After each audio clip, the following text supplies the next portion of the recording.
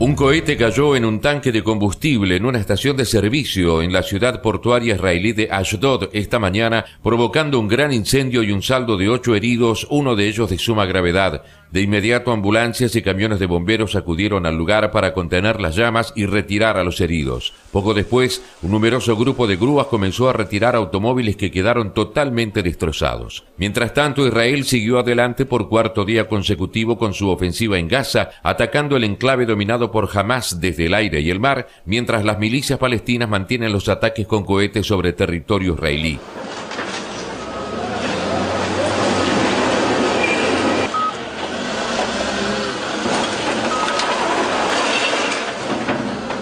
Al menos un centenar de personas, en su mayoría civiles no vinculados con las organizaciones combatientes, han muerto en la ofensiva que Israel ha lanzado para poner fin a los ataques sobre su población. Además, el ejército israelí dio a conocer hoy imágenes en las que se ve la forma en la que focalizan presuntos depósitos de armas en la ciudad de Gaza para proceder luego a su destrucción mediante una ofensiva aérea. Voceros militares informaron que se atacaron más de 200 sitios durante las últimas 24 horas en los que se habrían descubierto lanzadores de cohetes de largo alcance, instalaciones de almacenamiento de armas y cuarteles de reunión de líderes de la agrupación Hamas.